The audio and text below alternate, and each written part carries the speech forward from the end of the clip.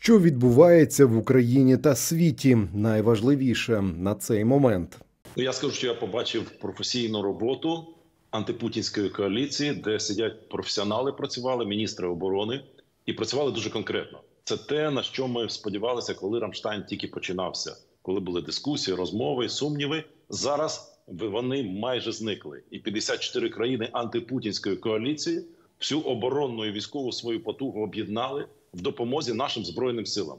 Це ключове допомога збройним силам України. Ось заради чого цей Рамштайн і такий Рамштайн нам потрібен. Друге, е, фахові військові мене зрозуміють, що тепер йде не тільки озброєння і не тільки на замовлення нашого генерального штабу, хоча це дуже важливо, але ідуть і снаряди, і боєприпаси, і інше, інше необхідне знаряддя для будь-якого військового підрозділу. Ідуть від країн-членів НАТО, що означає, що Україна де-факто на полі бою стала вже е, країною-членом НАТО за усіма і е, озброєннями і показниками. І третє, третє і дуже важливо, що наші професійні військовослужбовці навчаються, навчалися і будуть навчатися в країнах-членах НАТО від Великої Британії до Польщі. Більшої конкретики не будемо говорити, щоб ворог не знав, але це тисячі наших військовослужбовців, і таке навчання. От я слухав уважно ваш ефір, шановного нашого військового.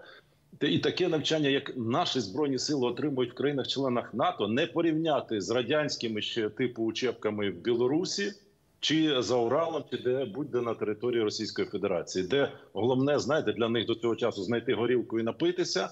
А наші хлопці, наші дівчата отримують фаховий вишкіл, де головне навчитися опанувати зброю, опанувати тактичну медицину і фахово використовувати потім на полі бою. Це два світи, дві різниці. І Рамштайн дає такі можливості, і слава Богу, для наших збройних сил. Україна не може виграти у Росії війну. Не може. Звичайно, як мабуть, кожній людині природньо емоційно реагувати.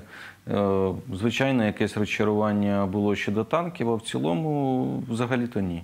Тому що якщо подивитися на і поставити на шальки терезів, що більше переважає рівень наданої підтримки і допомоги за е, те, що було з початку цього року.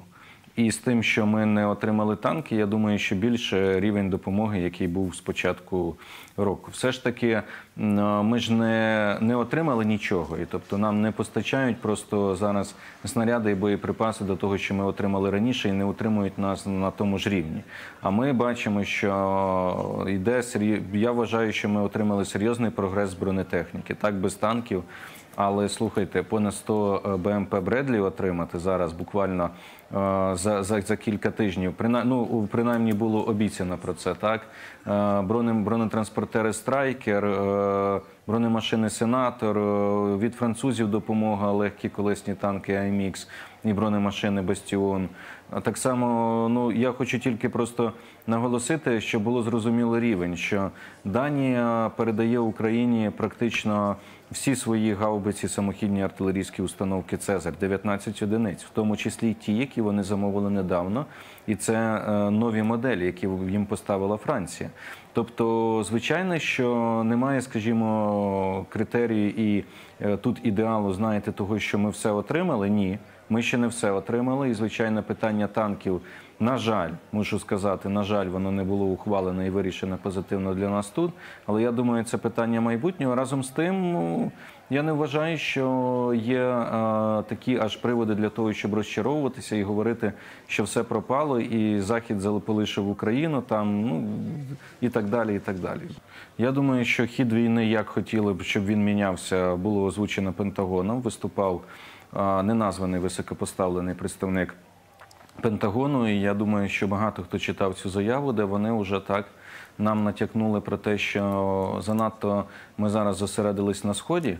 І вони хотіли б, щоб цю техніку, яка буде надходити, зокрема Бредлі, вона була використана для деокупації півдня і звільнення в першу чергу півдня. Тобто про це нам натякають, і відповідно ми можемо прогнозувати, як би це могло змінювати хід війни.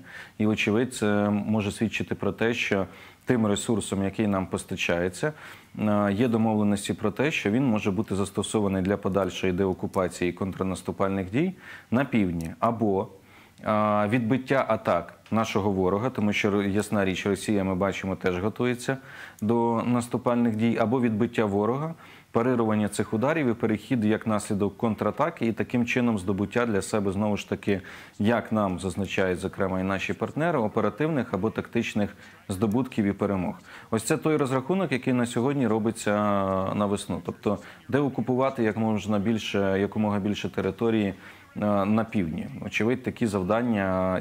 Я допускаю знову ж таки, мені невідомо, але я допускаю, що можливо саме про це говорили очільники американської армії, генерал Міллі і головнокомандувач збройних сил України, генерал Залужний, коли зустрічалися в, Польщі. Польщі. І можливо на Рамштайні так само, я думаю, за зачиненими дверима на окремих е, майданчиках це обговорювалося. Не надо рассуждать на тему того, что американские «Хаймерсы» не представляют угрозы.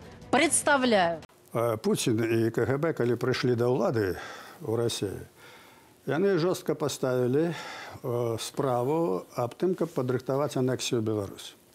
У 2002 году Путин выступил с пропановой до Лукашенки уходите в Россию, в охоте в Россию шести губерниями. Это был великий скандал. Вот. І от эту політику яны проводили весь час, але вони сутикнулися з тим, що Лукашенко нелегітимна фігура. ні одні вибори, які він проводив, не признані на Заході. Значить, е, провести некую ну, законоподобную ситуацію з неким референдумом, ті що, вони могли б це зробити, але це все юридично нікчемне. І політично, і юридично нікчемне. Крім того, е, Лукашенко оказався для їх вельми строптивий, е, вельми тримається за владу, і те, що вони хотіли, вони, у них не вельми отримлюється. І тому от к 20-му году, к 19-му, фактично к 17-му году, е, після виборів 15-го года, появився е, такий план у Москві замінити Лукашенко на другого прорусского чоловіка, який буде е, більш зговорливий, який буде підтриманий народом, і який зробить все те, що треба по питанню анексії. Підрихтовка почалася у 17 році. От тоді з'явився такий Бабарика. Ми это зафіксували, что у клубе Магуру, там, где збирається там, інтелігенція, політичні діячі, з'явився такий Бабарика, почав читати лекції по, по політиці, по економіці. Ми зафіксували, хто такий. Оказується, директор Белгазпромбанка. І от тоді почалася е, грандіозна підрихтовка. Бо що таке «Газпром»? Це кошельок Кремля, це велізарні гроші. Були кинуті великі гроші в Білорусь. Підрихтовано було вже все до виборів 2020 року. Появився Бабарика со своєю програмою, со своєю командою, з мільйонними грошами. Тут же е, собрали йому там чуть не 8 тисяч підписів. Ну, ми відаємо, як це робиться, наскільки це тяжко, які гроші були кинуті туди. І вже була підрихтована у ідеї прорусская партія. Подрихтованы были видео попередние, ще не отбылись подеи, а видео уже были записаны. Потом это все вылилось.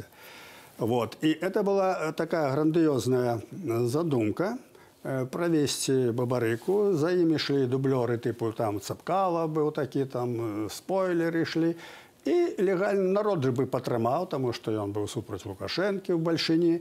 І заїжджав би на посад Бабарика, і він сказав саме ти Бабарика, що найлепша перспектива для Білорусі це уваходження в Росію. Всі підтримаються. І що отрималося? Отрималося то, що ну да, був конфлікт головно та поміж народом, національно-визвольними силами і Лукашенком, так?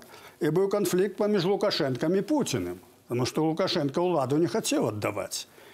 У виніку е, ті люди, які так само з'являються нашими ворогами, ну той же Бабарика, проруська партія, конфлікт поміж ними кончився тим, що Лукашенко посадив їх у турму. Вот. А протест, який почався, він був супротив фальсифікації виборів, тому що люди ну, не вірили, що Лукашенко 80% набрав. І коли була виставлена Тихановская, ну хто така Тихановская? Чоловік абсолютно невідомий, хатня господиня. Вона не володає навіть термінології, ніякого поняття в політиці, ніякої ідеології, ніякої політичної програми, нічого. Люди голосували за альтернативу. Але просто, люди да, голосували за альтернативу. Підпишіться на канал і не пропускайте нові відео. Пишіть коментарі і діліться з друзями. Ми також будемо вдячні за підтримку нашої роботи на Patreon або інших зручних платформах. Реквізити в описі до відео.